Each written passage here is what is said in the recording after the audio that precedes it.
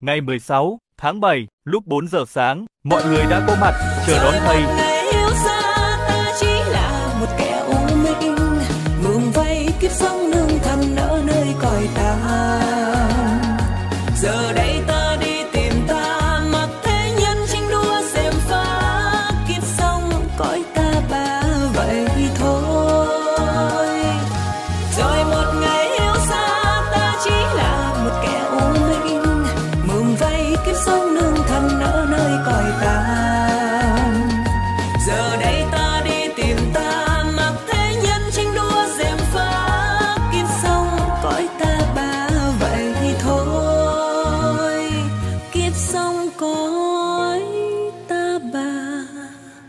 vậy.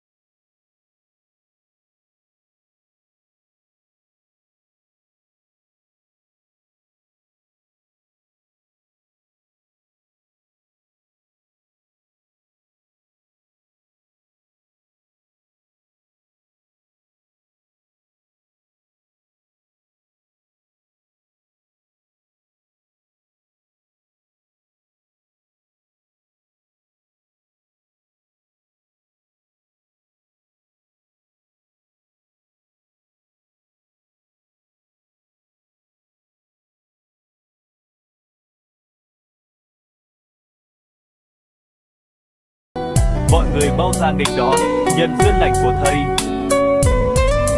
Xem những bước đi thần thái của thầy kìa.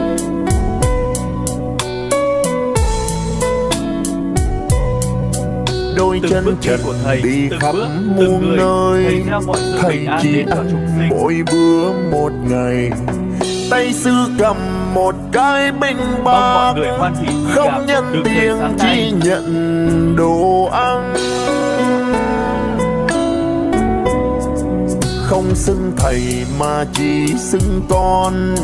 Kẻ đời ai thương ghét không màng. Đêm thì tìm nhà hoang vách đá sống không mang danh lợi phồn hoa.